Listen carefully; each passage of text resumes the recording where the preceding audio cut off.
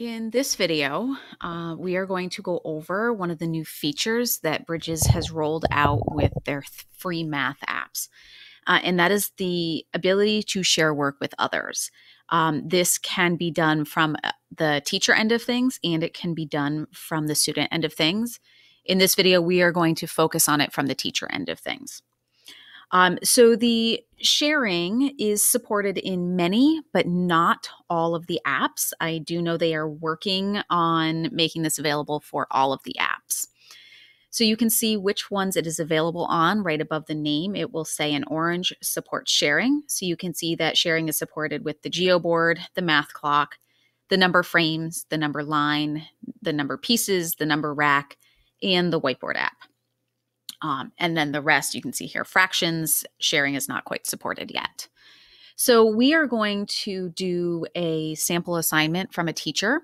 Uh, from the teacher end of things. And so I'm going to open this app. I'm just going to open it, open it right in my Chrome browser. And it gives me a blank workspace. And so, what I'm going to do is I'm going to create a problem that I would share out with my students. Uh, my students will have some nice workspace that they can then use to solve the problem and share it back with me.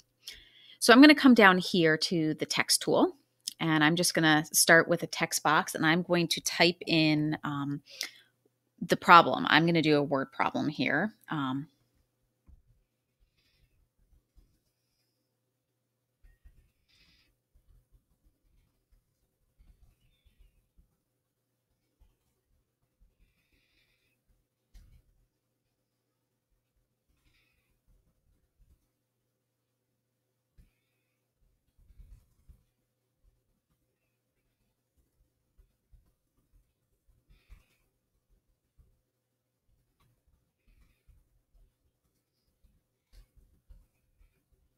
All right, so I just have a word problem here. You can see that my text right now is blue.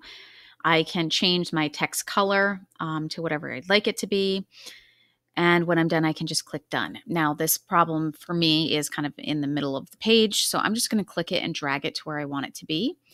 And then I can click the um, gray squares in the corners to change the size. So I'm going to drag this it's not taking up quite as much space.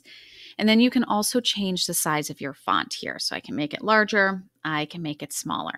So this is the problem that I want to share out with my students. And um, the way that I'm going to do that is down here in the menu, I have the share button. So if I click that, you will see all of the ways that I can share this work with someone else.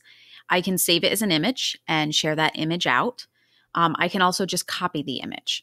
Now, the downfall to doing this as a teacher is that students will not be able to do the work. It will just be an image. So the sharing as an image is um, most likely going to be a feature that your students would use, not you as the teacher. You have the ability to share it as a link. And um, all I'm going to do to do that is I'm just going to click copy link. It says copied, and I'm going to come over to my Google Classroom and I am going to put it in a test class that I have. Let's create um, some classwork. Let's create an assignment. Um, we would title it just like we would with a normal assignment. You might give them instructions. Um,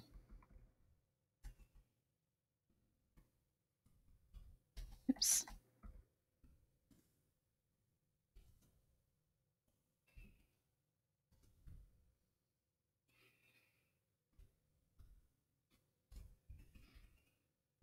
And then here, I'm just going to click add and I'm going to add a link.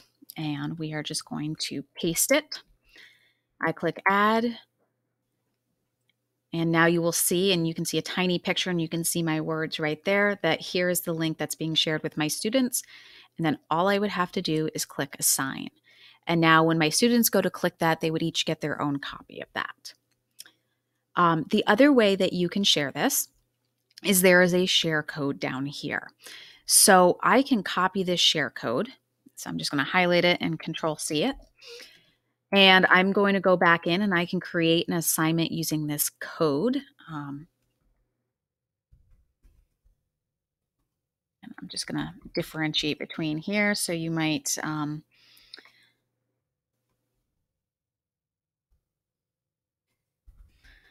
give them some directions.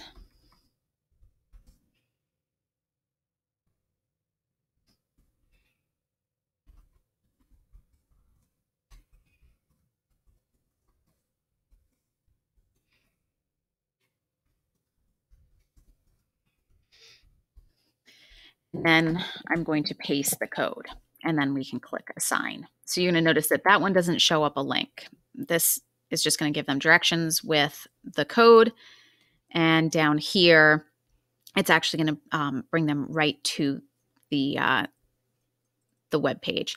So when you are doing the sharing the code, uh, you would need to make sure that students know where they are going to Many of these apps um, can be downloaded so that they are apps right on the student Chromebook. So you can see here Chrome Store. I can go into there and it will give me the option of um, adding this to my Chrome right here. See, it says add to Chrome. So my students could do that. So if students have this added to Chrome, then the code um, would be really easy.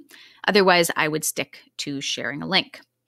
If you are wondering what this looks like now from the students' end of things, what students might do with this, and then how they would share it back with you as the teacher, make sure to check out our video of uh, sharing work from the student's point of view.